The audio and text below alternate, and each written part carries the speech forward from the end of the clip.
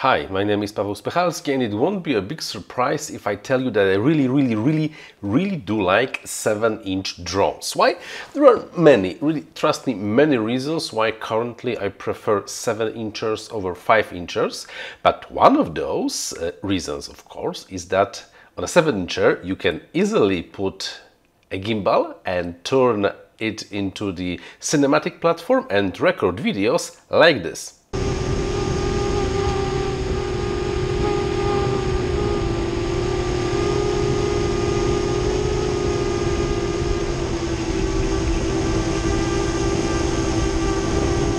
The standard configuration of my Source One 7-inch Source One looks more or less like this. It's a Source One GPS mast antennas and the standard GoPro session cage that just allows you to install GoPro session and record some footage. But back in the days when I was still flying 10 inches and 12 inches and they were really a thing, I got me a gimbal. Cheap, really like cheap almost the cheapest thing I could found. It costed like, I don't know, 50 bucks? Yeah, something like 50, maybe 60 bucks. It was crappy, uh, but it kind of like worked big, bulky, and for last two years it was just lying somewhere in the drawer. I decided that, well, come on, if this thing can carry a standard camera bracket, why cannot it carry this thing? What I did, this is, like I said, the almost the cheapest gimbal I was able to find. The link to this is in the description, sure, with the huge 50 by 50 millimeters board. And it's really like hard to find a place where to put 50 by 50 millimeter board on the drone like this because the board is kind of bigger than anything else. So the idea is you do not mount it flat, but you mount it vertically, of course, with the GoPro bracket like that. Then you only add the GoPro session in the in the cage. Connect because this is this has a separate power. Connect the battery and you are done. It looks it looks at least strange. Um, I would have to say it looks like uh, hmm, some kind of a robot but it works really really really it works.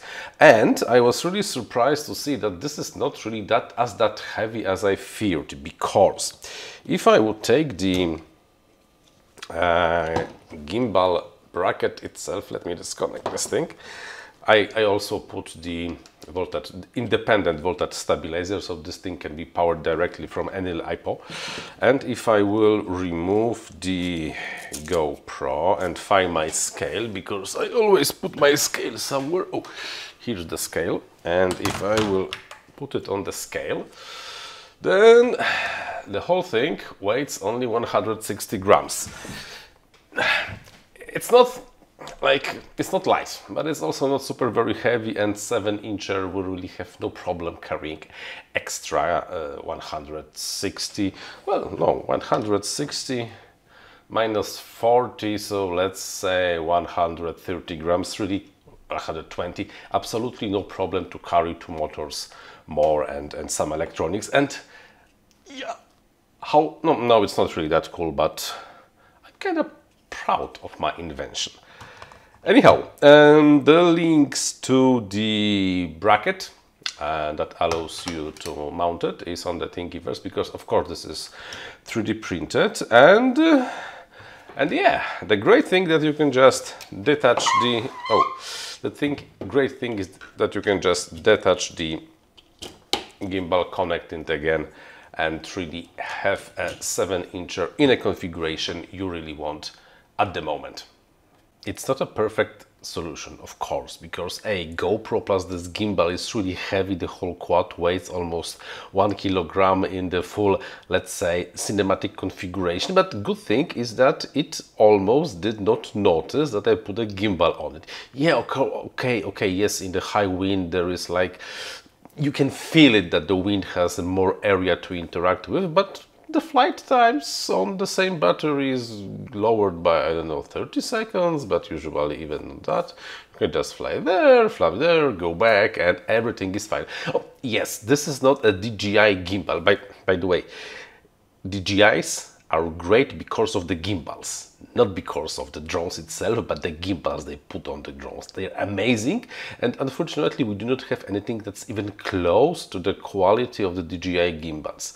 Too bad, but what you can do about this, you have to live with what you have. I'm living with my attachable super cheap GoPro gimbal. It's kind of working. Yeah, if I really would have to find something better about this, is that you cannot really point it downward and you cannot like see what's on the ground because the propellers are there but this is not this is not the intention of the of the thing the intention of the thing was just to fly straight and have very very smooth and uh, yeah smooth footage of of the flight. So with that happy thought that's all for today. Until the next one. Bye bye